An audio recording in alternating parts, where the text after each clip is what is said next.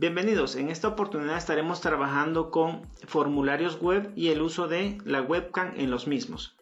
En esta oportunidad la idea es generar un formulario en donde podamos registrar la información de los clientes en este caso, pero también captar la imagen o la fotografía de los mismos.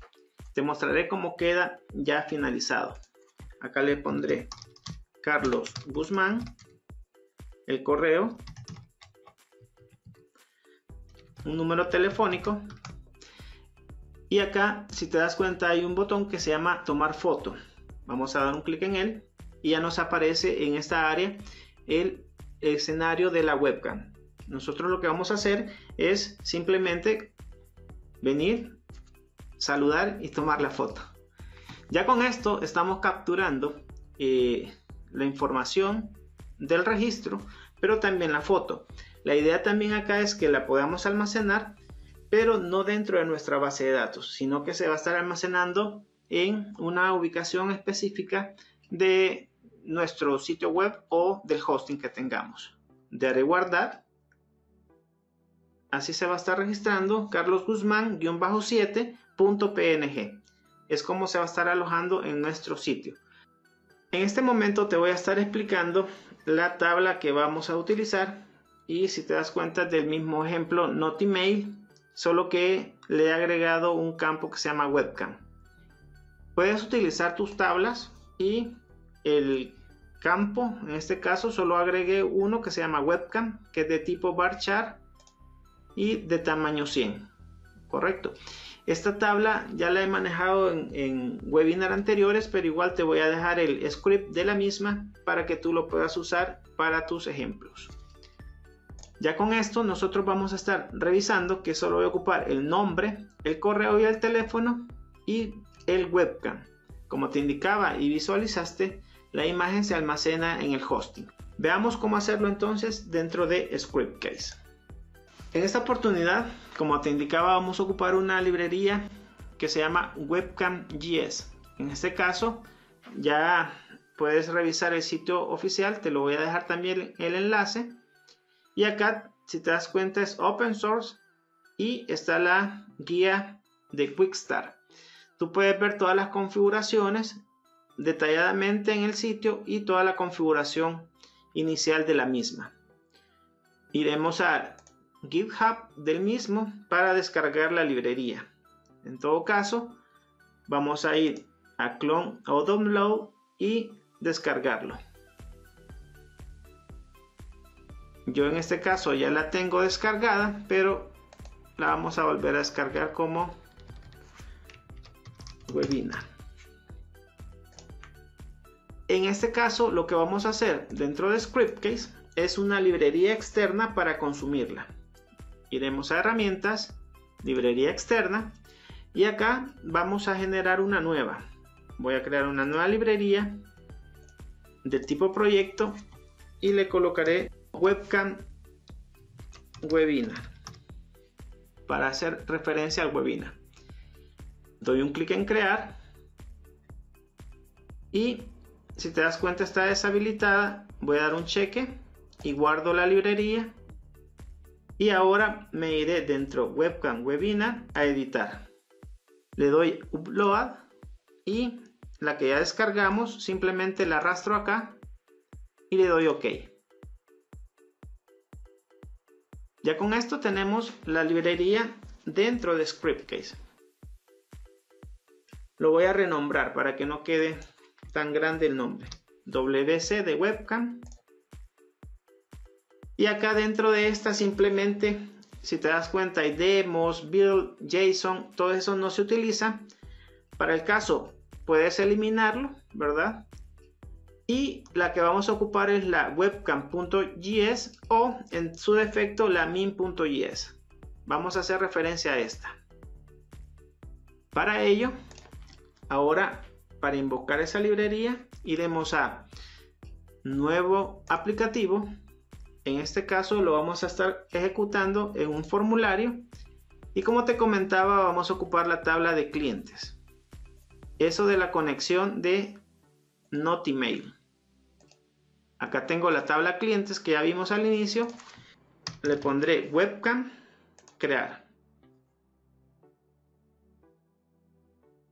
Acá con esto delimitaré qué campos voy a visualizar.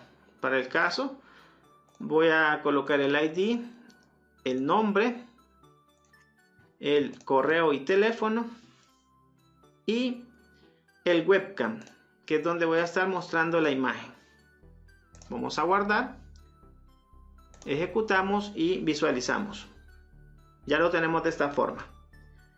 Si te das cuenta, lo que voy a hacer ahora es hacer dos bloques para poner el webcam donde va a estar la imagen y vamos a agregar un nuevo campo para colocar el botón. Vamos a campos, nuevo, siguiente y a este le crearé uno que se llame botón. Doy un clic en crear, me voy a layout, bloques, creo uno nuevo y le pondré BL webcam. Ya con esto vamos a colocar los dos a la par. Es decir, el siguiente bloque vaya al lado. Le pondré un 60, 40. Y la ubicaré el caso de la webcam y el botón en el bloque de webcam. Ejecutamos y vamos a visualizar los cambios. Como ves, ya tenemos la información del cliente en esta área y acá webcam y botón. Si te das cuenta son campos de tipo texto, pero lo que vamos a estar trabajando a nivel de código es este, mostrarlo como un botón y el webcam que se muestre la librería en sí en ese caso vamos a trabajar en eventos y en script init vamos a estar llamando la librería de bootstrap. Vamos a cerrar php y aperturamos. Acá te estaré llamando la librería de bootstrap. En todo caso estoy trabajando con la 337 ¿sí? llamo min css y el min js Ahora bien, en esta área también vamos a incluir la librería externa que ya definimos. Para el caso, recordemos dónde estaba y cómo se llamaba. Me voy a cerrar. Está a nivel de proyecto y se llama Webcam Webinar. Vamos a ver. Proyecto Webcam-Webinar. Y dentro de ella vamos a hacer referencia a la carpeta WC que renombramos y a webcam.js. Eso es lo que hacemos aquí.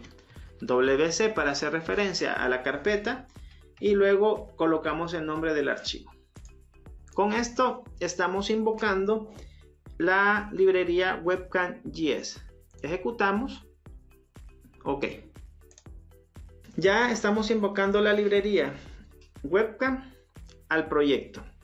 Lo que vamos a hacer ahora es eh, transformar el tema del botón. Lo que haremos es lo siguiente. El botón es un texto. A nivel de código lo voy a transformar en un botón de Bootstrap. Vamos a revisar. Cierro PHP. Abro PHP y aquí vamos a estar utilizando el siguiente código. Con un script lo que hago es revisar el elemento, en este caso el botón. Para eso lo que hacemos es lo siguiente. Doy un clic en el botón. Si te das cuenta ya se transformó. Lo vamos a comentariar para explicarte bien. Acá doy un clic derecho y le doy inspeccionar.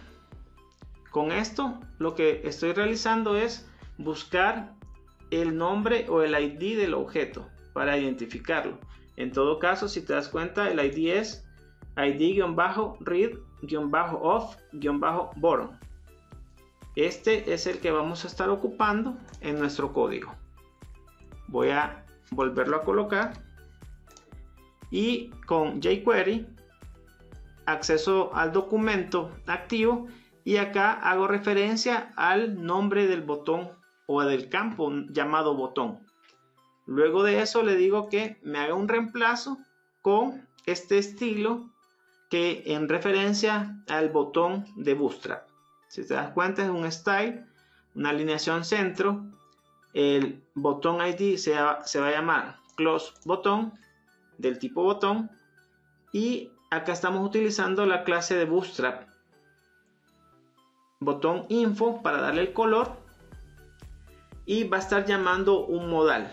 Ya te explicaré eso.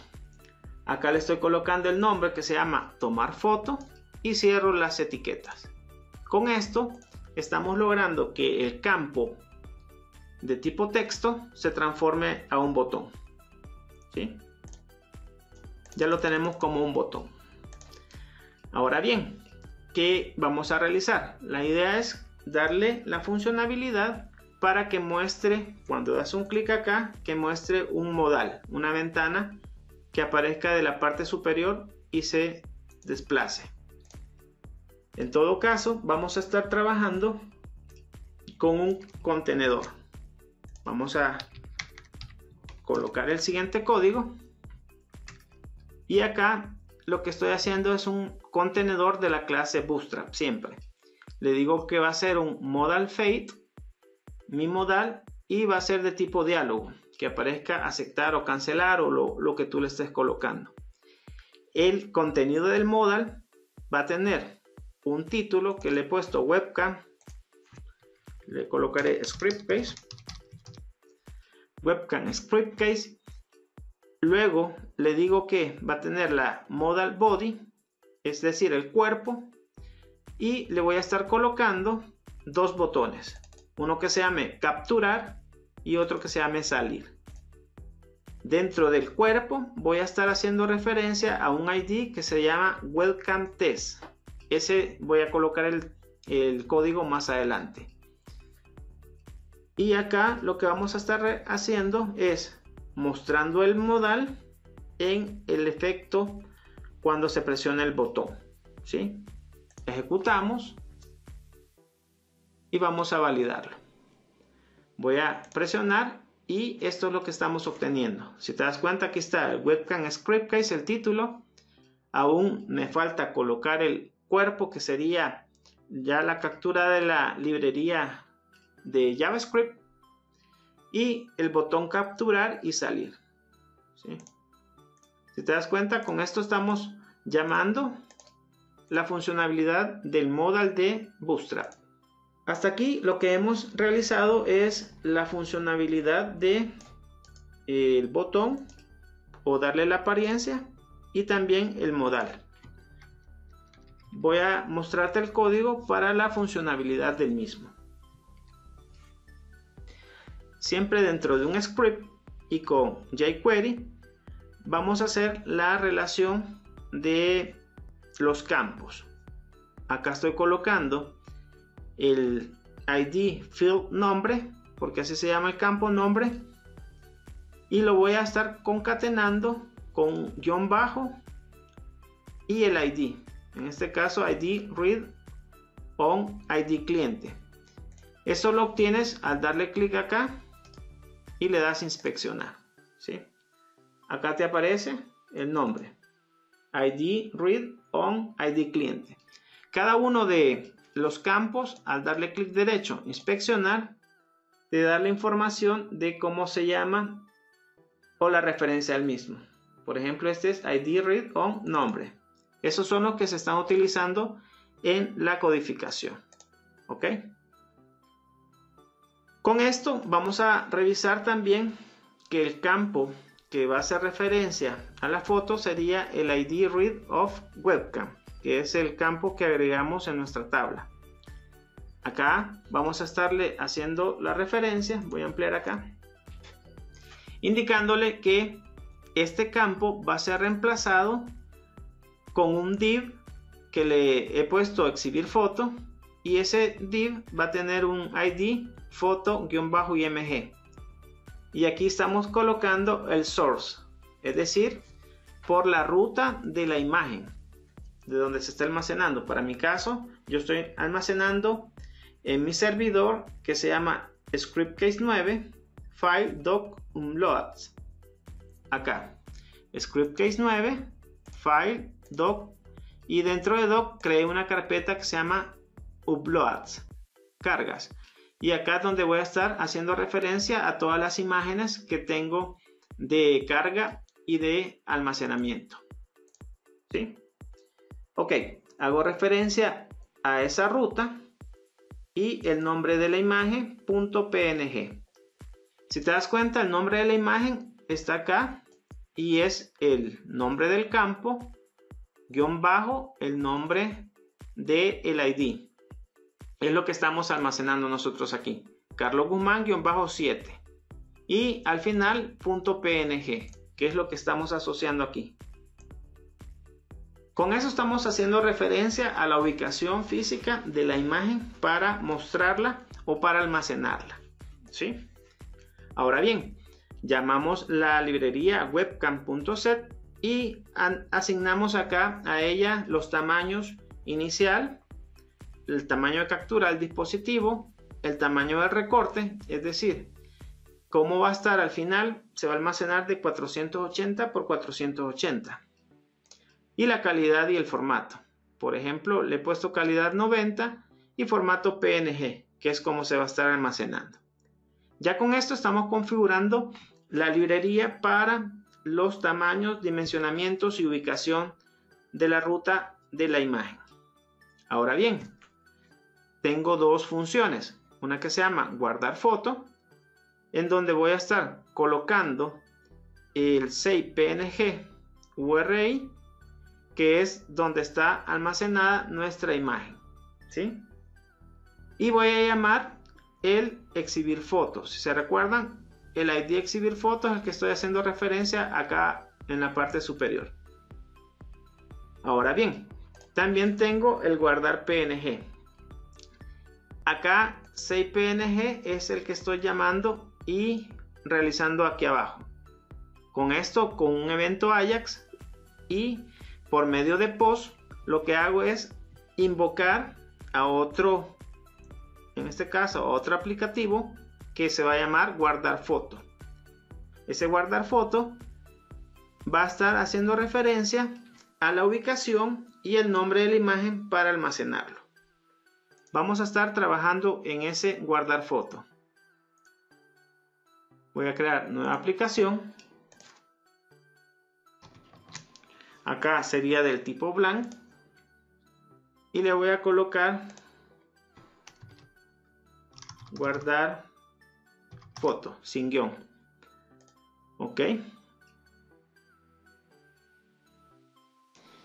Y acá lo que iniciaríamos es hacer el proceso para que se cargue la imagen en nuestro hosting o en la carpeta que nosotros estemos indicando para ello vendremos y haremos lo siguiente. Asigno una variable img y por medio de post la capturo img. Del mismo forma la variable name y capturo por post. Ahora bien, aquí hacemos un reemplazo. Tomo la imagen y la reemplazo indicándole que va a estar de imagen la paso a PNG y luego de eso lo que hago es reemplazar y transformarla a base 64 es decir nosotros tomamos la información y la transformamos a base 64 para que se almacene como imagen y definimos el nombre del archivo este va a estar en la ubicación inicial file doc uploads si te das cuenta, sería script case, files, doc, uploads. Esta es la ruta que le estoy dando. Para Windows también la podrías, eh, es funcional, o sea, si tienes instalado, eh, digamos, script case en Windows, irías a, en todo caso, donde está instalado. C, archivos de programa, netmate wroot y desde acá script case file, doc, uploads. Aquí están las pruebas, ¿ya? Entonces, esta es la ruta que estamos tomando. Es funcional para script case en la nube o en tu configuración local de Windows, ¿ya? Hacemos referencia con esto. No hay necesidad que ponga C, dos puntos, program file, dos puntos, netmap, no, sino que con esto hacemos referencia a la ubicación donde está. Y por último, con file contents, lo que hacemos es indicarle el nombre del archivo y el data, es decir, la base 64 que hicimos el decode. Guardamos y lo que haré acá es compilarlo. Y cambiaré en webcam clientes. Le pondré acá solo guardar foto sin el guion porque así lo realizamos. Guardar foto ¿sí? ejecutamos y vamos a hacer la prueba. Ahora bien si te das cuenta donde dice webcam ya aparece una imagen sin ubicarse la idea acá es que cuando demos un clic en nuevo, podamos poner el nombre.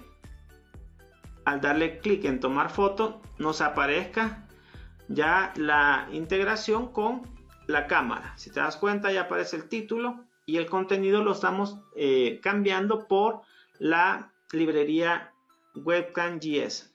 Al darle capturar, ya te aparece el registro y ahora cuando le des guardar, se va a quedar almacenado para que tú puedas registrar esa información.